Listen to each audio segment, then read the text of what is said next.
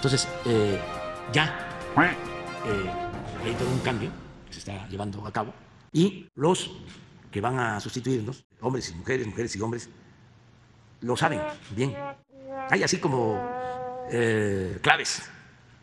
Por ejemplo, no robar, no mentir, no derrochar, o no lujos en el gobierno, no intermediarios, mucho menos divorcio del pueblo con el gobierno.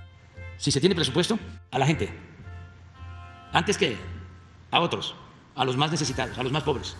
Hay por ahí un estribillo que dice, si la leche es poca, al niño le toca.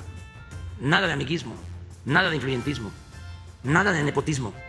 Eso de las encuestas, por ejemplo, es un buen método, porque no hay dedazo. No a las imposiciones, sí a la democracia. Pues por eso es por lo que luchamos. ¿Qué es lo que había? Corrupción. Eso no.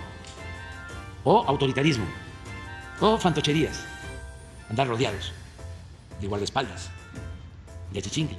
Pero no debe uno de guiarse por lo que este, plantean los adversarios si no tienen razón.